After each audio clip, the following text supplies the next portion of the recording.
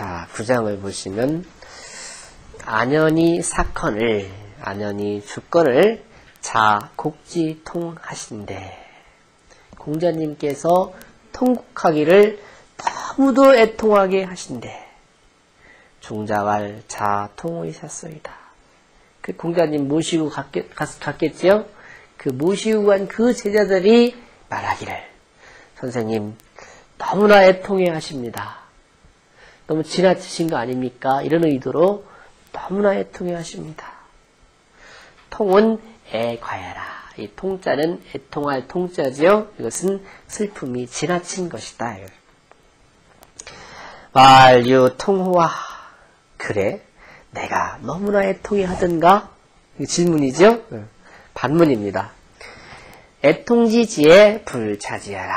이 말은 공자님께서 애, 애상, 애상지지에 슬퍼하고 그 아파하는 그 지극함에 자기 자신이 그렇게 깊이까지 슬퍼하고 애통해하는 줄을 모르시는 자리다.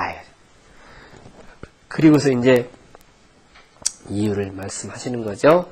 비부 인지 위통이요 이수위리요. 부자는 이, 저 사람, 이 사람 그런 뜻이에요. 이 사람 바로 안연이겠죠. 이 사람을 위하여 어? 애통해 하지 않고 누구를 위하여 애통해 한단 말이냐.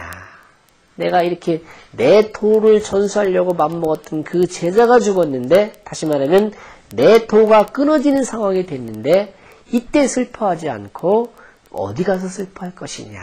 그렇게 해석할 수도 있겠죠.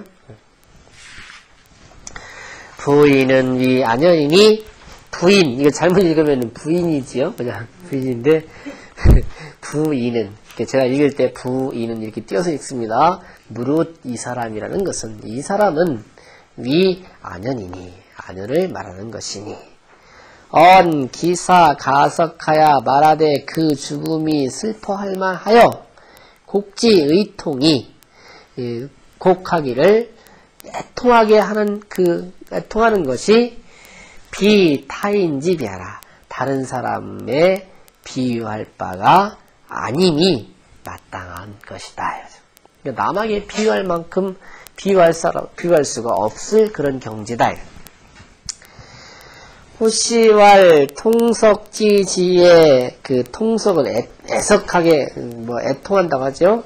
애통하는 지극함에 시당 기간은 그 가함 마땅히 그 가함을 베푸는 것은 즉 그 애통해 하는 것이 적당한 것은 개정성지 정야라. 이 자리는 바로 공자님이 그, 그 정도 애통해야 될 만한 자리이기 때문에 그렇게 애, 통해 하신 것이다. 그 말입니다. 정성지 정야라. 감정과 성품의 바름을 말한다. 바른 것이다.